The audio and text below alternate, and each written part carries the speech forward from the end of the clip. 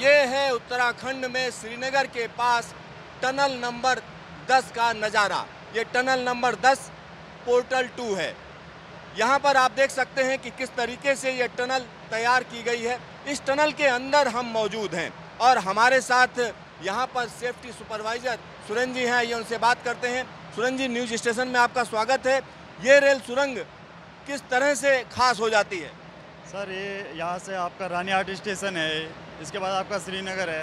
ये वाली टनल जो जा रही है, ये मलेथा को मिलेगी। फोर पॉइंट वन एक सौ चालीस मीटर करीब है ये वाली टनल।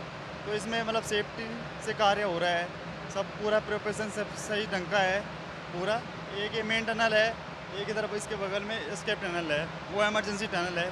बीच में सी पी खुले हुए हैं, जो बीच में कभी एमरजेंसी हो गया तो उसके लिए बने हुए हैं। अच्छा क्या 24 घंटे काम चलता रहता है? चौबीस घंटे काम चलता है सर। अभी कितनी टनल हो चुकी है?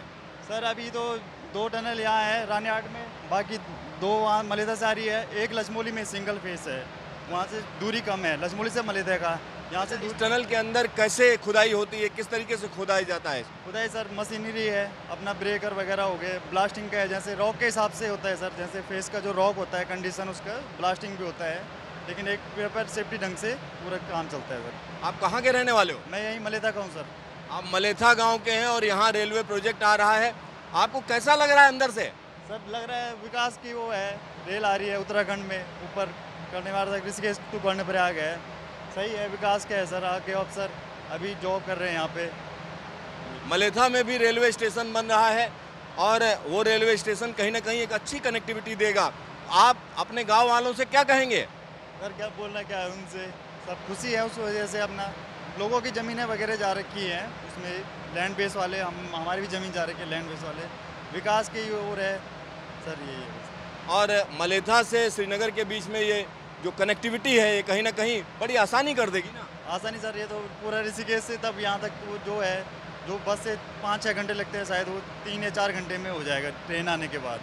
तो यहाँ पर आप समझ सकते हैं सुरेंद्र जी के चेहरे की खुशी साफ़ साफ़ बता रही है कि ये रेलवे लाइन कहीं ना कहीं उत्तराखंड के लिए एक वरदान बनकर सामने आ रही है। वरदान है यहाँ के लिए क्योंकि जब ऋषिकेश से तेज रफ्तार ट्रेनें चलेंगी तो एक बेहतर कनेक्टिविटी होगी।